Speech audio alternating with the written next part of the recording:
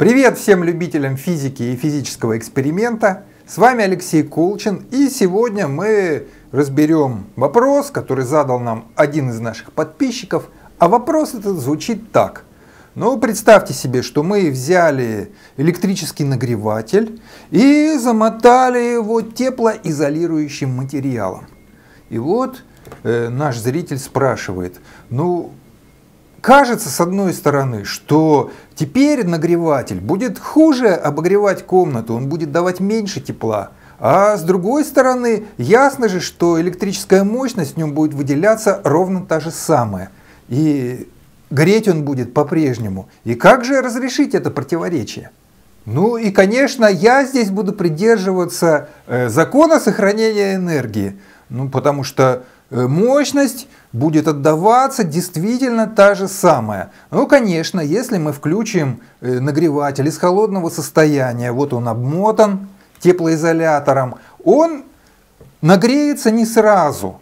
Тепловой поток будет устанавливаться какое-то время, и он перейдет в стационарный режим тоже через какое-то время. Но после этого он будет отдавать ровно ту же тепловую мощность, как и неизолированный нагреватель.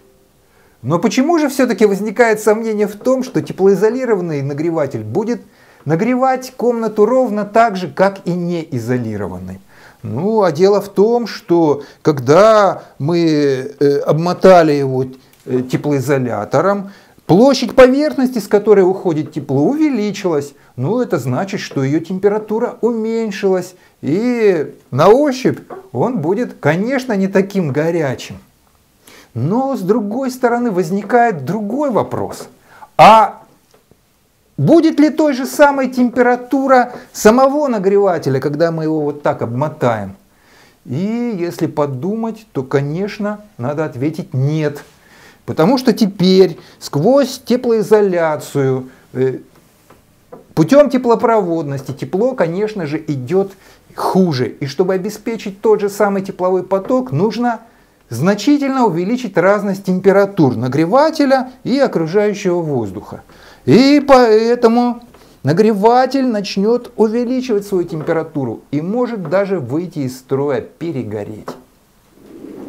И еще одно соображение. Давайте сделаем такой опыт. Я беру кусочек пеноплекса отличного теплоизолятора и заливаю его кипятком из чайника.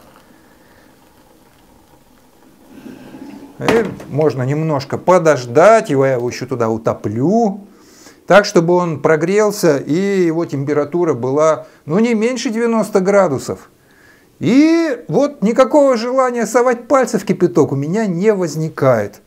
А пеноплекс я беру совершенно спокойно и не чувствую никакого ожога. А все потому, что теплопроводность его весьма низка и, соответственно, Тепло передает моим пальцам очень медленно. С электронагревателем мы разобрались, а теперь настало время нашего традиционного заключительного вопроса. Ну вот если мы возьмем батарею центрального отопления и ее теплоизолируем, ну попросту закроем одеялом, изменится ли как-то температура в комнате или нет? Ваши соображения на этот счет пишите в комментариях к этому ролику на YouTube.